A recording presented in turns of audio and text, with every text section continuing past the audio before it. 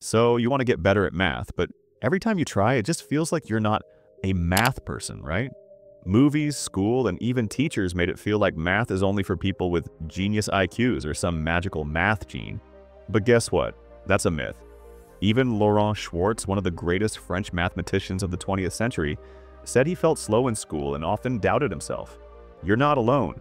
93% of US adults have felt math anxiety. So it's not you, it's how you've been taught. In this video, I'm sharing 5 proven steps to help you truly ace math. Step 2 and Step 5 are my personal favorites. But here's the catch. If you skip any part, you might just find yourself falling right back into the rabbit hole.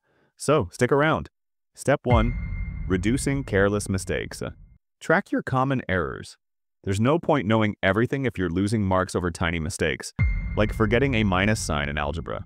Keep a running list of these recurring slip-ups. 2. Build your mistake profile. Note down patterns. Do you often mistype numbers? Skip units? Forget brackets? This list becomes your personal what not to do guide. 3. Review before the exam. Read your mistake list before every test.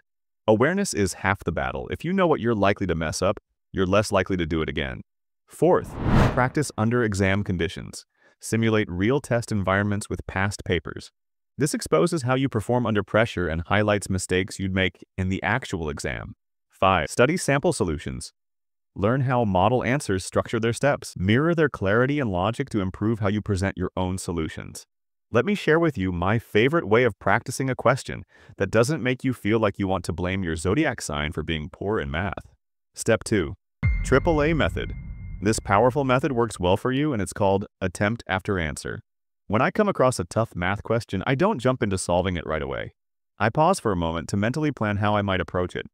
But here's the thing, if I truly have no clue where to begin, I don't waste time struggling endlessly. I simply look at the solution. That's right, I allow myself to give up, but only temporarily.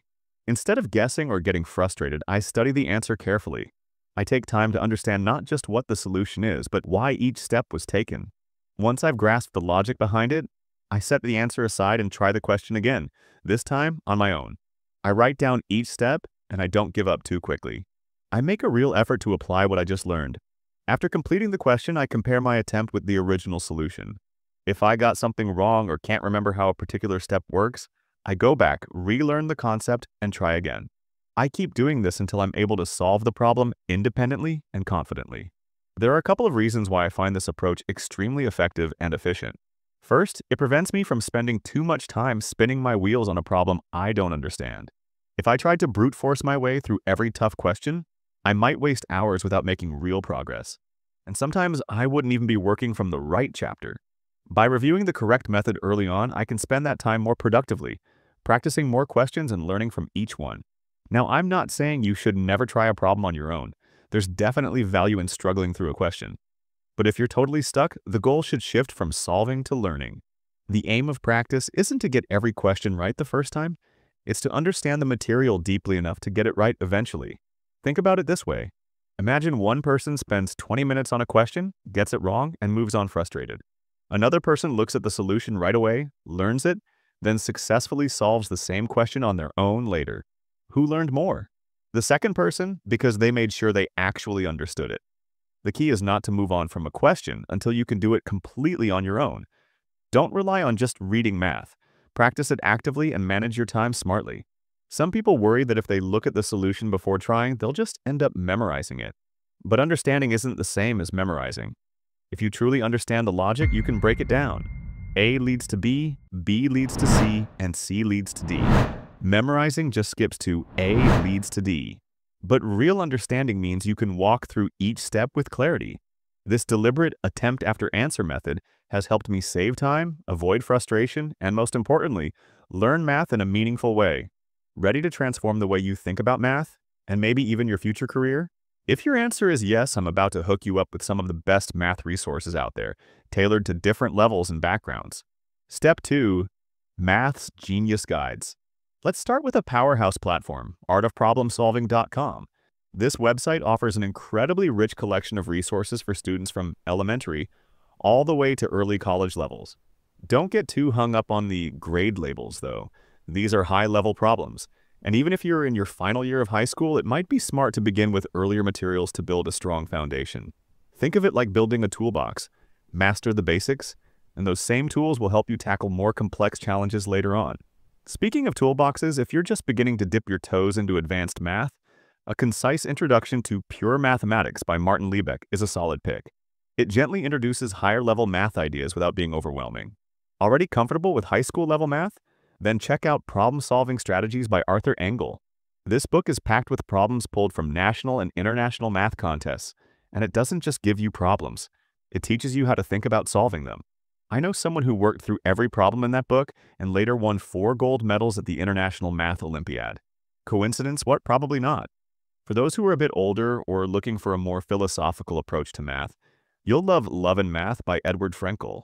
It's part autobiography, part deep dive into the hidden beauty of math, and a great reminder that math is more than just equations. It's a creative and human pursuit. Ultimately, becoming good at math is kind of like becoming a skilled mechanic. Sure, you need tools, but it's not just about having the fanciest ones. A master mechanic can fix more with a basic 15 to $20 kit than a beginner can with a whole high-end garage. The same goes for math. It's not about how much you know, but how well you use what you've got. Step 3. Slow to fast to brain mode switch. Ever wonder why sometimes you read something and realize none of it stuck? That's your slow brain at work. It's in charge of conscious thinking, reasoning, and problem solving. It takes effort and focus. Then there's your fast brain, the one that instantly recognizes a dog or knows that 4 plus 4 equals 8. It's built on intuition and pattern recognition, formed through repetition and familiarity. Great math learners rely on both. They've practiced so many core concepts that solving problems feels effortless. Their slow brain worked hard at first, but with enough repetition, those efforts shifted into fast brain instincts. The goal? Practice until your brain stops struggling and starts recognizing.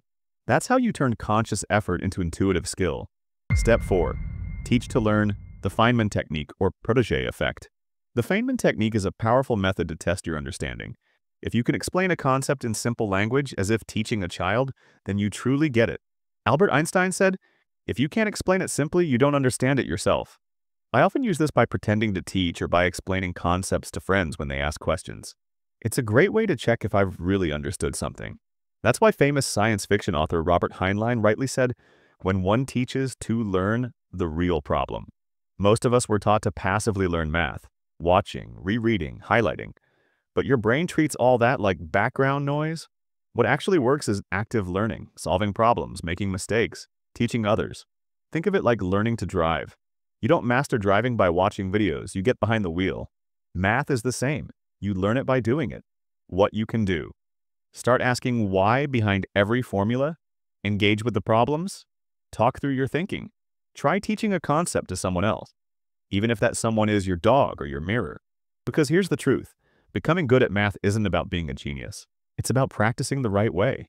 In math, mistakes usually come from two places, not understanding the concept, or being careless with what you already know, like forgetting to leave in the units, or maybe you mistype your numbers into the calculator rule and here you're going to lose marks due to being too careless.